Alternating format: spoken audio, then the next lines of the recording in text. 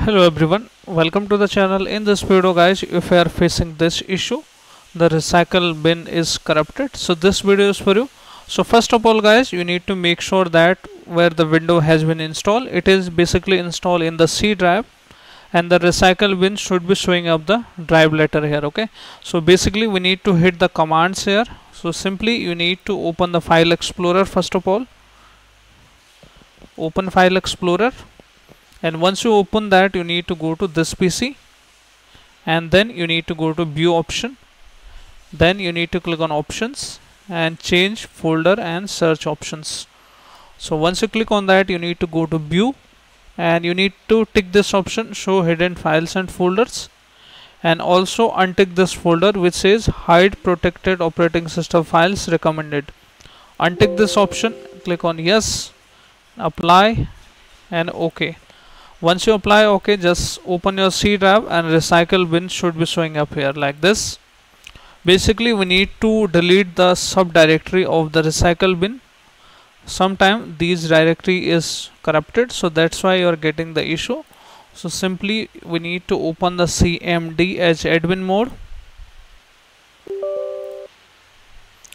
And we need to hit this command. This is the C directory if a directory is different you need to change the drive letter accordingly. So rd means remove directory and s means subdirectory. Uh, let me show you if I enter it. Now we can see the recycle bin subdirectory is deleted okay? And once you have performed this step guys your issue should be fixed and if I have still issue guys as you can see here my recycle bin is opening up. If I have still issue then you can restart your system. And after that your issue will be fixed. Similarly you can do with Windows 11 as well. The same setting you need to apply. Let me show you according to the title of my video in Windows 10 and 11 go to three dots here. Then go to options then go to view. And you need to choose here the same setting okay? Just untick that option. Hit apply apply okay.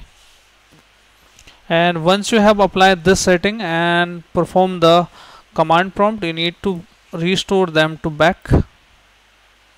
Just do the setting same don't show.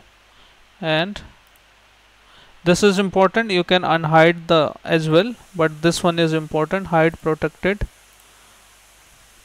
So I'm pretty sure guys after applying these methods your issue is fixed now. If yes then hit like subscribe and share. Thank you. Thanks for watching